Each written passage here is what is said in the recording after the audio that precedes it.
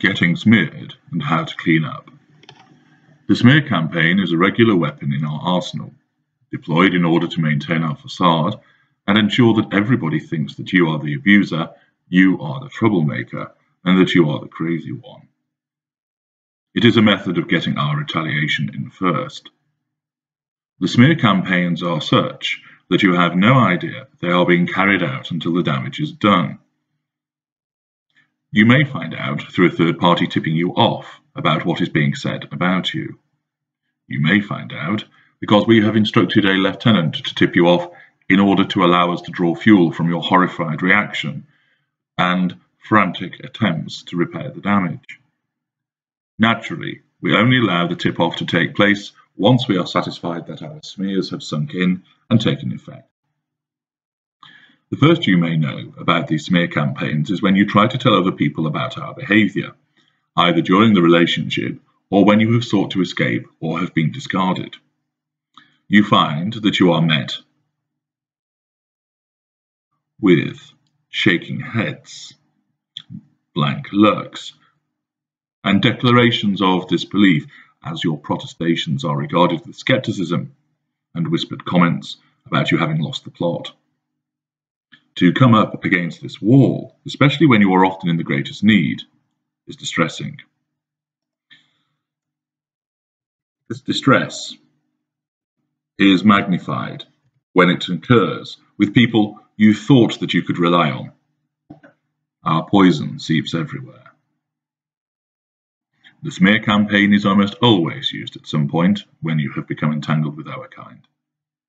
There are many different kinds, but here are six which are regularly used. Number one, the abuser. We like to trot out tales about how cruel and unpleasant you have been to us, whether it is preventing us from seeing our friends, not letting us have our say, making decisions for us, hitting us, failing to attend to household chores whilst we are working to support the household, not showing us any affection, questioning us about our movements, calling us names, and so on. It will be used against you.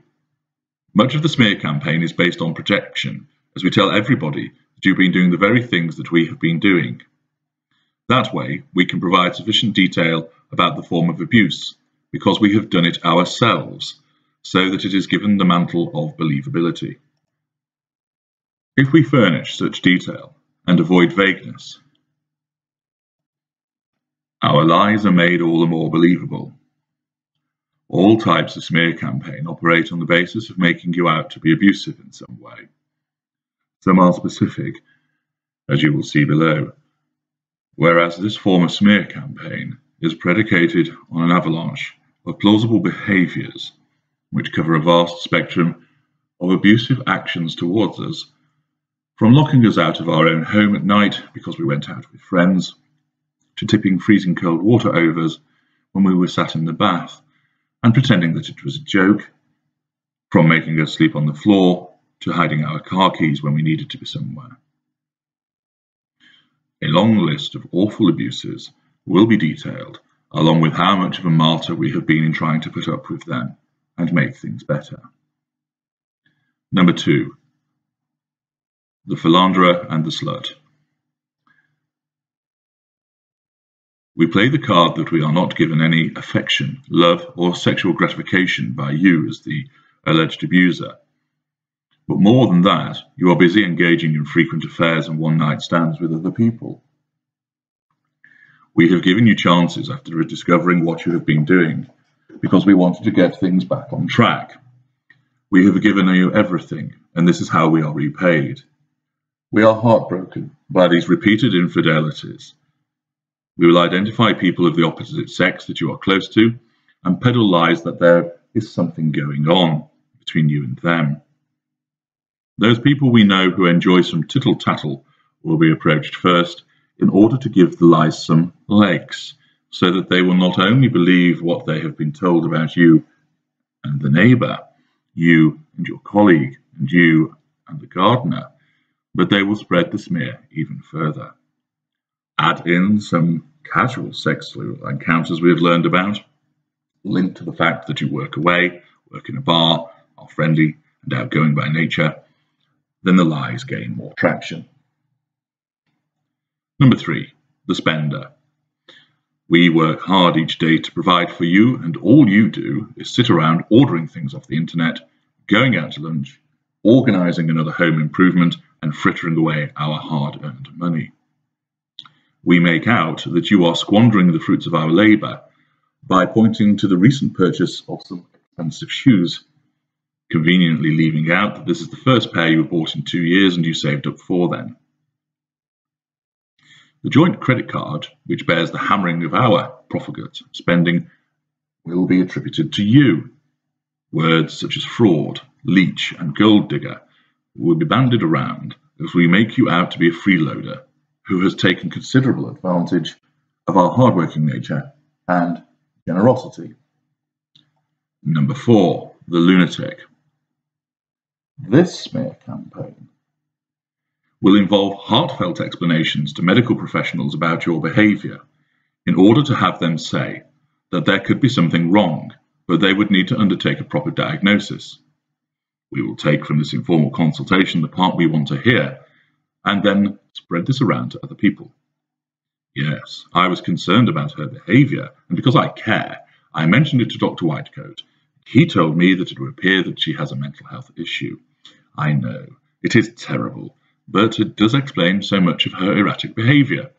The thing is, I don't know if she will allow herself to be treated. Of course, she will insist that there is nothing wrong with her, but apparently that is what these people do. They have no insight that there is anything wrong with them. Sound familiar at all? We will pick on entirely innocuous behaviours of yours and magnify them so they become regarded as problematic. Idiosyncrasies will be portrayed as aberrations from normal behaviour, and of course, the more you try to point out that it is us and not you, the crazier you appear.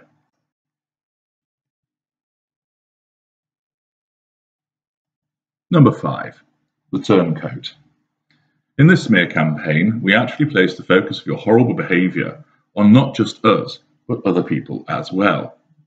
We spend our time telling other people the horrible things you have said about them behind their backs. Of course, since we are in a relationship with you, it stands to reason that what we are saying must be true. Otherwise, why would we make it up about the person that we apparently love? We maintain that we are telling the victim of your scurrilous comments so they can keep an eye out for it happening again and to be a little wiser in their engagements with you. This will be based on oral recollection, so it's difficult to prove, but often we will engage a lieutenant in corroborating our lies so that the recipient believes us and is too busy basking in their own indignant and annoyed reaction to test the veracity of what they are being told. Number six, the addict. You have a serious problem, and the time has come to tell other people about it. You enjoy the occasional flutter on the horses, we make out that you actually have a huge gambling issue, which incorporates the casino, slot machines, betting online, frequent trips to the bookmakers, and even betting on which of two raindrops will trickle down the window pane the fastest. You may like a drink now and again. We will turn this into full blown alcoholism, showing off pictures of the empties in the overflowing recycling bin. Those empties are ours, or are the product of a weekend party, but we're not going to let that get in the way of our smear. You are addicted to sex, watching porn, trying to make us do things in the bedroom that we do not want to do, demanding sex on tap and demeaning us. Your recent weight gain, although nothing significant, is used against you as evidence of an addiction to food.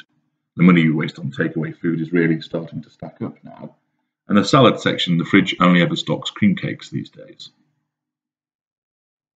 How might you deal with these smear campaigns and wipe them clean from your reputation? You are never in a position to stop them before they begin, because you will not know about them until they are at least up and running. And unfortunately, to you, your heartfelt and emotional protestations just work against you. They give us fuel and encourage us to ramp up the pressure against you. There are some steps that you can take. Number one, avoid reacting to them in an emotional fashion. This starts as a fuel and may cause us to drop the campaign because it is no longer having the desired effect. Some damage will have been done, but you will then be able to limit that damage. 2. Consider carefully who you feel the need to disavow of our lies. If you need support in the context of your escape from us, save your energies for addressing the lies with those that matter in terms of providing you with support. You may lose some friends, but were they really good friends to have if they were taken in by the smear campaign? 3. Use any independent evidence you may have to show people. For instance, documents, video recordings, independent witnesses, and just provide this to the relevant recipient of the smear campaign for them to make up their own mind. State your side of the story, refer to the evidence, and let them make their mind up. People don't like to be told what to do. By allowing them to reach their own conclusion as to who is telling the truth, you are more likely to gain an ally again, and one who will also expound your truth to others on your behalf. 4.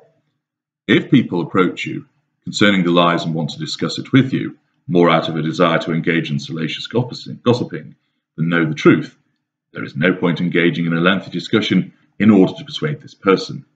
They are not interested in the truth, only the buzz which comes from having some gossip. Raise your hand as they begin and tell them, he has told lies and I do not want to hear any more or discuss them. That will stop it in its tracks. You may also wish to add that the matter is in the hands of lawyers, which often causes people to back off, as they do not want to become embroiled in legal action. 5. Don't engage in a reverse smear campaign by talking about what we have done. This merely creates fuel for us, and because we have got in first, it makes you look like you're only saying this because of what we have said. Concentrate on protecting your own reputation. Don't be concerned with blackening ours. 6. Adopting the above points will turn the tide, so that we are left with the choice of having to expend more time and energy to maintain a smear campaign in light of your non-fuel provision and calculated approach, or more likely, we will see it is not working and look to concentrate on someone else rather than you. 7. If the smear campaign is having adverse effects in terms of your job, your professional standing and interaction with the authorities, engage a lawyer to set the record straight. A well-drafted letter to the relevant decision maker is often sufficient to address the matter. Don't engage in sending threatening letters to us, unless the smear campaign is especially bad and is having serious repercussions on your life and livelihood, as this provides us with fuel and also provides us with an arena for us to continue the allegations and to look to gain further traction. Number eight, sometimes the most appropriate way is to ignore what is being said and get on with your own life. This demonstrates that you have not taken the bait which will infuriate us. You may find it uncomfortable having lies said about you, but if it is having no visible effect on you, we will move on.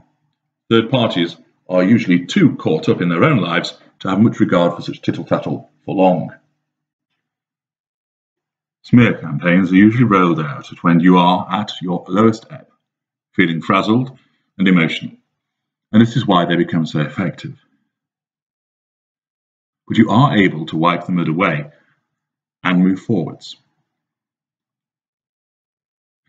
You can learn more about dealing with this manipulation and many others in two of my books which are available on Amazon Escape, How to Beat the Narcissist, and Smeared, Knowing and Beating the Narcissist Campaign.